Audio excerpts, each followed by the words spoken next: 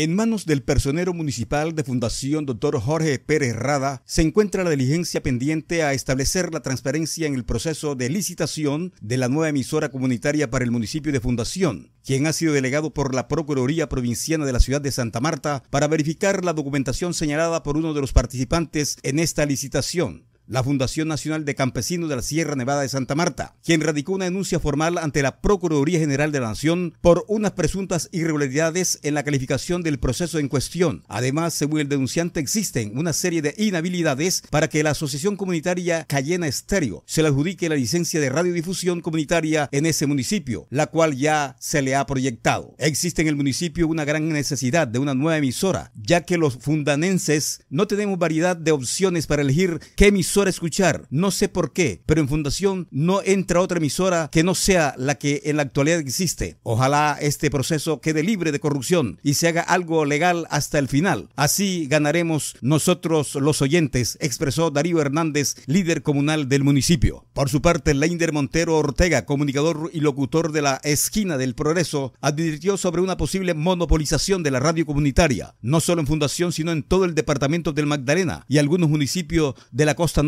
colombiana, sobre la cual también se pronunció en su denuncia la Fundación Nacional de Campesinos de la Sierra Nevada de Santa Marta. Existe una realidad que todos conocemos en el Magdalena. La mayoría de las emisoras tienen el mismo formato y estilo, todos porque ellas son del mismo dueño o esa persona hace parte de las mismas como socio. No es posible que habiendo tanta gente con ganas de trabajar y hacer radio de la buena, se le niegue la oportunidad porque en los procesos de licitación siempre gana el mismo en todas partes, ya sea entrando disfrazado de socio o a través de tercero, lo que ha convertido la radio en nuestro departamento en un monopolio a favor de unos pocos. Solo queda esperar y confiar en la transparencia de nuestro personero, a quien conozco y sé que es una persona que actúa de acuerdo a la ley, expresó Montero Ortega.